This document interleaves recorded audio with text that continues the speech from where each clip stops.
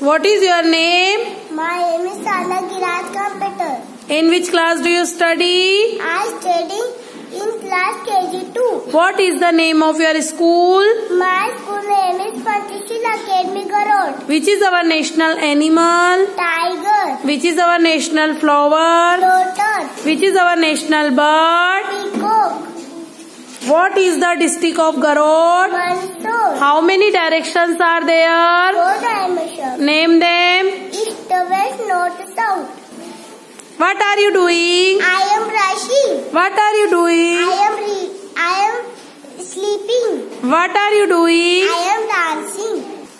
Tell the multiplication table of 3. Three one the three, three two the Three the nine, three four the twelve, three five the fifteen, three six the